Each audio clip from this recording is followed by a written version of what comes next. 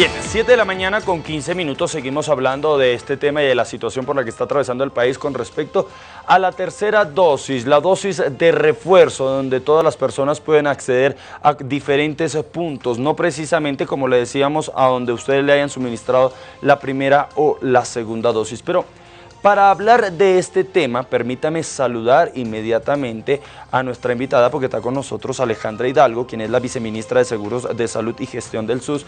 Viceministra, ¿cómo está? Muy buenos días. Edison Restrepo la saluda. ¿Cómo está Edison? Un placer estar nuevamente en tu programa. Buenos días. Viceministra, es un gusto siempre charlar un poco con usted para saber la situación en cuanto a salud y en cuanto a las vacunas de lo que está pasando en este momento. Hasta el día 31 de octubre se tiene previsto de que las personas puedan acceder a los puntos masivos de vacunación para acceder a la tercera dosis. ¿Qué va a pasar? ¿De cuántas dosis estamos hablando de que se disponen para la población en general? Son 700 mil dosis que se han distribuido a nivel nacional, están en cada departamento, de las cuales hasta la fecha se han utilizado 240 mil 875 dosis. Quiere decir que todavía tenemos dosis disponibles en los centros de salud. Estas dosis están ya en los puntos masivos de vacunación, en los centros de salud. Y como tú lo mencionabas, se podría y se puede vacunar a una persona que ha recibido su vacuna en Oruro y que por aspectos laborales o familiares se encuentra en Tarija, entonces solo con la presentación del carnet de identidad ya la persona recibe su tercera dosis. Dice ministra, estamos hablando de que queda un restante más o menos de unas 450 mil dosis todavía que se necesitan aplicar hasta el 31 de octubre. ¿Qué va a pasar con las dosis que no sean utilizadas. La gente dirá, bueno, ¿y ahora qué van a hacer con ellas? Bueno, dentro del marco de lo que procede, eh, estas vacunas son medicamentos, por lo tanto, en este caso se debe inactivar la vacuna a partir del primero del siguiente mes, primero de noviembre. La fecha de vencimiento estaría hasta el 31 de octubre ¿no? Entonces se utilizan diferentes soluciones para poder inactivar la vacuna por un tiempo y así de esta forma se procede con el desecho de la misma. Ahora, cada sede departamental deberá proceder a elaborar el informe correspondiente, sin embargo, son cuatro días que todavía quedan a partir del día de hoy para poder utilizar la vacuna, la vacuna AstraZeneca, es una de las vacunas que sí se la puede combinar con la Pfizer, con la Sputnik, con la Jensen, con la Sinopharm. Y en ese sentido invitamos a toda la población poder acudir a los centros de salud, a los puntos masivos de vacunación, a los puntos nocturnos que también se han habilitado en algunos departamentos para que posterior a haber realizado la actividad laboral o la actividad académica, la persona mayor de 18 años pueda acudir con su carnet de identidad. Viceministra, eh, bien lo ha mencionado, son cuatro días los que quedan justamente para empezar con el plan de inmunización y poder eh, lograr de que estas vacunas efectivamente pues no se desechen, no se echen a perder. Viceministra, ¿ya se tiene un plan, una estrategia como tal? ¿Se han hablado con eh, los gobiernos municipales, con las autoridades correspondientes, con los sedes para evitar efectivamente a todo lugar de que estas vacunas no se pierdan, porque recordemos de que hay muchos países que no han podido contar ni siquiera con el total de las primeras dosis o las segundas dosis. Nosotros, un país donde se han hecho las gestiones correspondientes, gracias al presidente Luis Arce Gatacora, para poder inmunizar a toda la población, que es destacable. Entonces, este plan no hay que dejarlo de lado, hay que reforzarlo para evitar el desecho de estas vacunas. Exactamente, como tú mencionas, a través del PAI nacional se sostienen reuniones de manera semanal con los responsables de cada PAI departamental. Se ha solicitado además que cada municipio, cada departamento realice estrategias puerta a puerta ya que los puntos masivos de vacunación atenderán a toda la población que pueda asistir. Sin embargo, existe todavía un número importante de personas que no han asistido por diferentes motivos. Es por eso que se ha solicitado que se puedan desplazar brigadas, que se pueda implementar un horario diferente al usual, ya utilizado un horario continuo en aplicación de vacunas y en algunos departamentos como La Paz, El Alto, como por ejemplo Santa Cruz, ya cuentan con puntos nocturnos de vacunación de 4 de la tarde a 8 y media de la noche en Santa Cruz, en Los Pozos, en el Plan 3000 y en la COD, por ejemplo. Se han aperturado para que pueda acudir la población que está trabajando y que por algún motivo no puede salir en un horario continuo para que saliendo del trabajo, camino al domicilio, acudan a estos puntos de vacunación.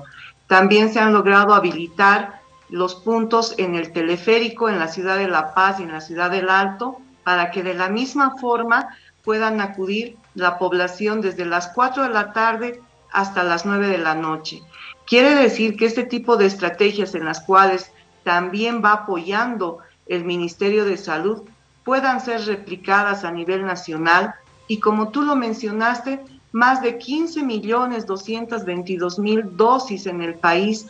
El gobierno garantiza el 100% de las vacunas en primeras y en segundas dosis. Ahora esta dosis de refuerzo que evidentemente todos los estudios científicos demuestran que esta dosis va a ir a potenciar ya las defensas que tiene el organismo, va a ir a potenciar todas las defensas en una persona que tendrá una enfermedad como una artritis, como una enfermedad neurológica, por ejemplo, o una insuficiencia renal, ¿sí? Va a ir a proteger el organismo ante un posible inicio de una cuarta ola, ya que los casos se están incrementando en La Paz, en Santa Cruz, en Cochabamba, en Chuquisaca. Los otros departamentos todavía no tienen un incremento de casos importante, sin embargo, la vacuna como tercera dosis está destinada para potenciar ya el efecto que se tuvo con la primera y la segunda. Quiere decir que esta vacunación heteróloga combinada definitivamente es un beneficio para toda la población mayor de 18 años. Dice ministra, algo muy importante que usted destacaba y que sin duda alguna es importante hablarlo. La cuarta ola. Si miramos las estadísticas, cuando se anunció la segunda ola, la población continuaba con las medidas de bioseguridad. Cuando se anunció la tercera ola, también de pronto la gente eh, continuaba con las medidas de bioseguridad, pero se ha relajado un poco. Ahora, se anuncia una cuarta ola, pero estamos viendo la actualidad en este momento en nuestro país, donde prácticamente estamos casi en la normalidad, ya hay eventos sociales, ya, hay discotecas, ya la gente como tal está saliendo a todo lugar, el distanciamiento prácticamente ya no se respeta. Entonces, ante el anuncio de esta cuarta ola, ¿Cuál es la situación en el sistema de salud en nuestro país? ¿Cómo puede repercutir esta situación? ¿Volveremos a un confinamiento? ¿Volveremos ante esta alza que bien lo mencionaba en otros municipios, en otros departamentos? Eh, ¿Cuál va a ser de ahora en adelante? ¿Qué es lo que debemos asumir? Porque la población como tal no está respetando. Es necesario poder mantener las medidas de bioseguridad cada persona es responsable de cuidar a la familia. Nosotros como autoridades de salud, a través de nuestro ministro, el doctor Jason Nausa, se está realizando toda la implementación correspondiente para poder, eh, a través del PAI nacional, distribuir las vacunas. Lo que queda ahora es utilizar las vacunas, por un lado, que son el único medicamento a nivel mundial que está autorizado y se ha demostrado además el efecto de proteger el cuerpo ante el contacto con el coronavirus. Segundo, las medidas de bioseguridad, el uso del barbijo, el lavado de manos seis veces al día, mínimamente con agua y jabón, o la desinfección con el alcohol, el dorso y la palma de las manos al 70%, la ventilación de los ambientes laborales, de la casa, del transporte, sí, es necesario y evitar estar en lugares con mucha conglomeración de personas. Quiere decir que cada persona, a través de estas medidas de bioseguridad, la vacuna y el barbijo, lo que hemos explicado, está en manos ya proteger a nuestra familia, ¿sí? Además de protegernos a nosotros mismos, debemos proteger a cada familia boliviana y esa es una responsabilidad de todos los bolivianos y bolivianas.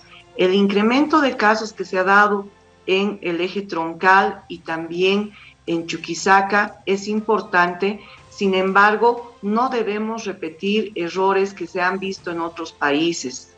Ya cuando el número de personas vacunadas iba en incremento, han dejado de utilizar el barbijo y eso ha significado en los países, en otros países, que exista una cuarta ola. Si nosotros conocemos que estamos en riesgo, debemos continuar con el uso de las medidas de bioseguridad y de esta forma, además, poder aplicarnos esta tercera dosis que está habilitada para que el organismo esté más protegido. Entonces, es necesario no descuidar este uso, tenemos que todavía mantener, porque la pandemia está vigente, entonces la lucha es conjunta. Viceministra, muchísimas gracias por permitirnos estos minutitos eh, de su valioso tiempo y esperemos que la gente continúe con las medidas de bioseguridad y tomar esta conciencia. Viceministra, muchísimas gracias. Gracias a ti, un abrazo, que tengas un buen día.